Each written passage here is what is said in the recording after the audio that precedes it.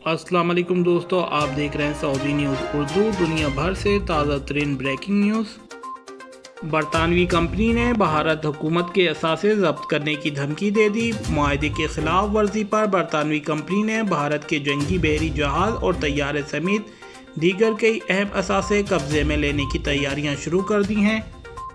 बरतानवी energy company ने भारतीय हुकूमत के असासे जब्त करने की धमकी दे दी है। बैन अवी खबर रिसाल इदारे की रिपोर्ट के मुताबिक भारत के अहम असासे ख़तरे में पड़ गए हैं। तुर्क कोरोना वैक्सीन, बाकी वैक्सीनों से महफूज होगी। तुर्क साइंसदान का दावा सरबरा टोबेटाक हसन मानदेल ने तुर्क साइंसदानों की तैयार करदा मुकामी वैक्सीन को कोरोना वायरस के मुकाबले ज़्यादा महफूज और मौसर करार दिया है।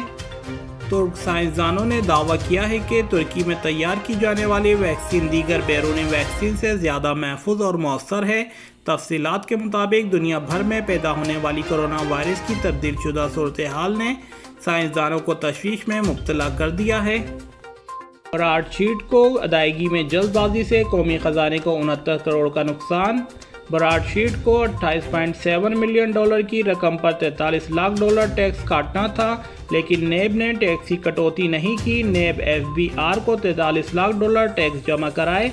एफबीआर का डीजी नेब हेडक्वार्टर्स को नोटिस जारी। पीआईए का एक और पाकिस्तानी शहर से शारजा के दो तरफा परवाजें शुरू करने का फैसला। कौमी एयरलाइन की जानब से बलोचिस्तान के शहर तुरबत से मुतहदा अरब अमारात के शहर के लिए अगले माह से परवाजे का आगाज़ किया जाएगा।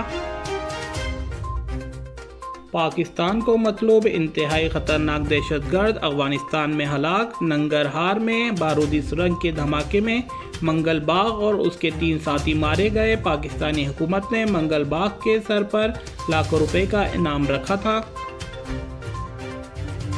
एशियाई तरक्याती बैंक ने पाकिस्तान के लिए 10 अरब डॉलर्स प्रोग्राम की मंजूरी दे दी।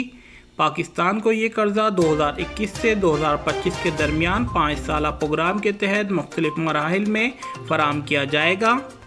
इलात के मुताबिक बैरून अदायगियों के बोझ तले दबे पाकिस्तान के अहम खबर सामने आई है। एशियाई तरक्याती बैंक की जानब से पाकिस्तान के लिए पाँच साल कर्ज प्रोग्राम मंजूर किया गया है।